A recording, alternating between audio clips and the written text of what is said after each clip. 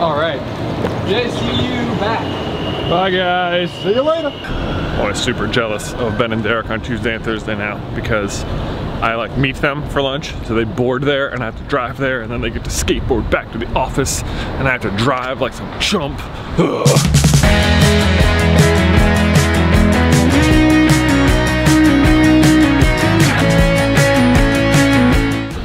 They're totally gonna beat me back too. That's the thing. Like, I'm in a car, I should at least go faster, but no, no, especially in the city, all the stoplights, they're gonna beat me back. ha! I ended up winning, got back to the office first because all the lights were green and I got super lucky, but uh, I bet they're not far behind.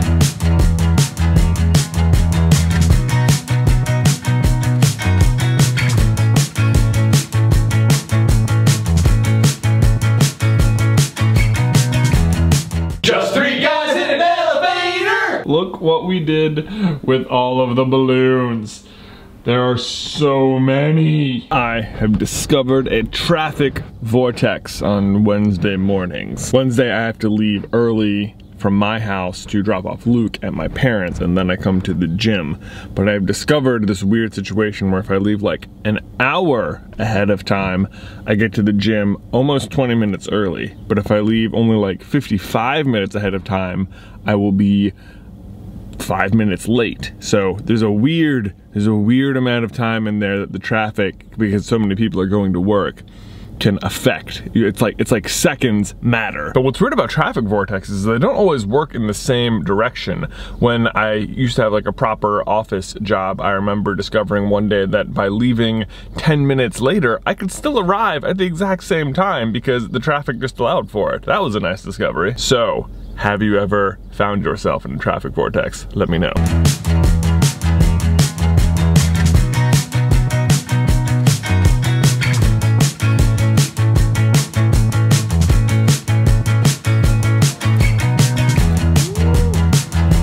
Say good morning, Luke. Somewhat eventful morning, a little bit.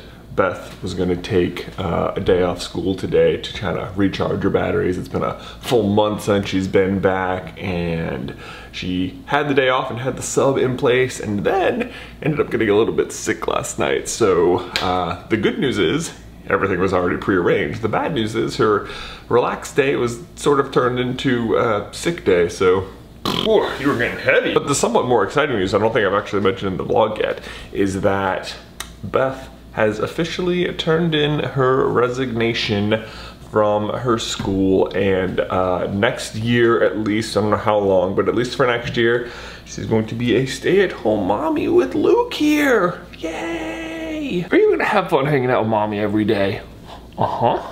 Uh-huh. It was a little bit bittersweet for her. She really likes being a teacher and uh, but I think she really also wanted to stay home with Luke, but um, we decided we could make it work and I am excited. I think it's gonna be cool. I 100% support this decision and because I think if you have the opportunity to be the ones uh, raising your kids day in and day out, you should totally take it because like it's what's so weird is it's not like something you can go back and do later. Like you can't get this time back. You can't be like, oh yeah, no, at some point I will take some time off of work to go raise my baby. Because if you don't do it while it's happening, then the time is gone. And most of the things that you really, like you might want to go do, you can just be like, ah, I can just postpone it until later in life. But at that point, they're older and you can't do that. And we want to spend as much time with you while you're this big as we can, Luke. He's already getting so much bigger so fast. Also, you're totally welcome for explaining how time works and how people age. I'm sure you needed that explained to you. What do you guys think of my Star Wars PJs? Beth's mom got these for me for my birthday.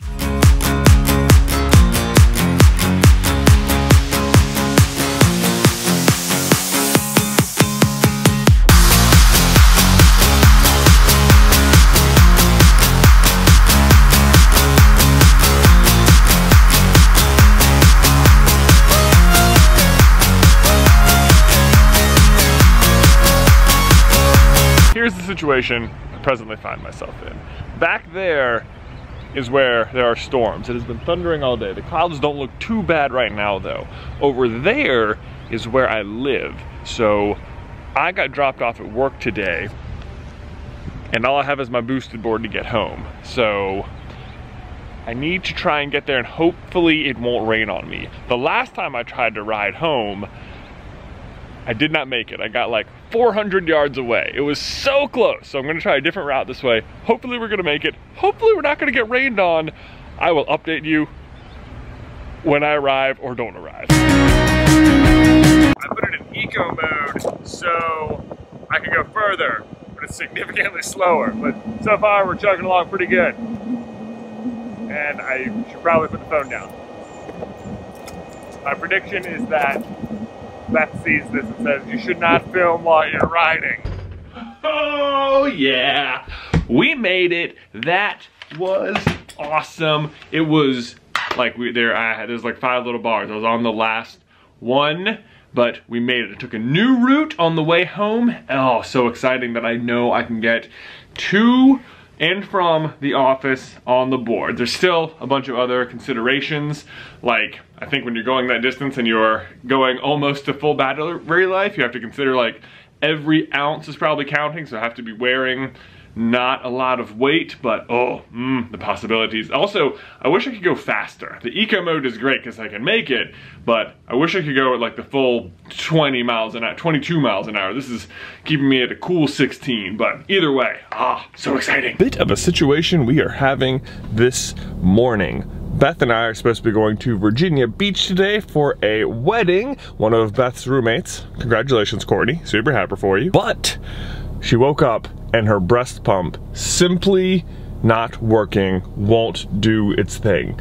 Has a second one, it is at her classroom at school. Problem is, it's Saturday and schools are completely locked. So we've been trying to hunt down a key to get into the school or a way to borrow a breast pump or a way to simply buy a different one. The hospital pharmacy where we're renting our current one from is closed on weekends for some reason. Like people at hospitals don't need pharmacies on the weekend. What? Another thing is this is all happening at like six in the morning. So nobody's awake and nothing's open, right? So it's impossible to get anything. Uh, anyway, finally we were able down to track down the teacher who has the 24 seven key going to her house now. Beth is packing for the trip. Luke, thank goodness, has just been asleep through everything, but it's been a crazy morning. Boom!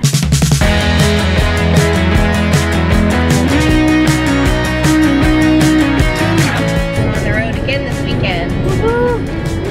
This time, no baby in the back. Yeah, so there's that, but it hasn't been any less stressful. Well, We had several traffic delays, and uh, we had the pump issues that I mentioned earlier. tell us about the last time we went to one of my college friends' weddings out of town. We had to drive to New Jersey that day. It was like a seven hour drive. It was like two weeks after our wedding. Yeah, and so we were very, uh, we didn't know traffic delays and stuff, how long it was gonna take. We left very early. We were the very first people at the church. We were like, whoa, look at us. On time and everything. We like asked around, we got into the bathrooms, we were changing clothes. And that's when I realized I'd forgotten my pants. All the way back in Roanoke. They tell us, oh, well, there's a mall. You could probably get some pants there. And they had a bunch of other really unhelpful suggestions, but that was like, there's a mall. We got to get there. So I hop in the car and take off towards the mall. I try like three or four pairs of pants. and find a nice At black- a JC Penney, right? at a JC Penney, just walk in, find the first thing I can, try them on, they fit, boom, good. We're heading back. All I need is black pants, right? It's not like a huge thing. so in the meantime, Mhm. I'm waiting around, kind of twiddling my thumbs. Mhm. I feel awkward and I feel the need to tell everyone why I'm by myself, which in retrospect was not the best idea. Well, see, the fact is that you're even saying it this way. My my assumption was that people were asking you, "Where's Jonathan?" But you were just volunteering the information ahead of time. I get back almost on time, which is to say, I walk back into like the lobby area of the church right as the like processional has started. So there's like all the bridesmaids and groomsmen are just chilling back there. And I'm like, oh crap. Now I gotta wait for everyone to go in and sit down, and then I can like sneak in the back. Peek out around to see I think everyone's cleared. And the, the people that were there had cleared, but now the only person standing there is Kelly, the bride. So I'm like the first person to see her before they open the door. And she looks over and I'm like, oh, hi.